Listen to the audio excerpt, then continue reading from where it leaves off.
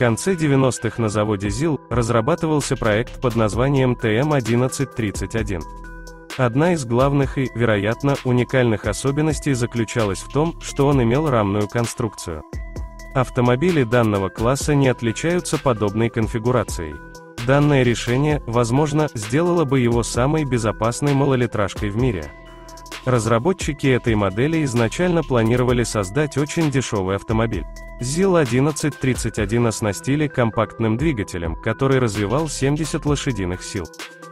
Такое сочетание вкупе с малым весом обеспечивало разгон до 155 км в час и расход топлива в 5,8 литра. При этом российская модель, несмотря на свои габариты, создавалась как универсальный автомобиль. Ее клиренс достигал 185 мм, что больше, чем у многих современных кроссоверов.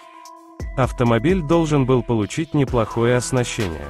Предсерийные прототипы комплектовались системой кондиционирования, рулевым электроусилителем и АБС. Были также версии, оснащаемые автоматической КПП. Разработчики несколько раз отказывались от этого проекта. Сначала это произошло после развала СССР. Второй раз о проекте забыли в 1998 году. Но внезапно в 2012 году российские СМИ стали сообщать о том, что ЗИЛ-1131 не только начали разрабатывать, но автомобиль должен был пойти в серийное производство и поступить на российский рынок.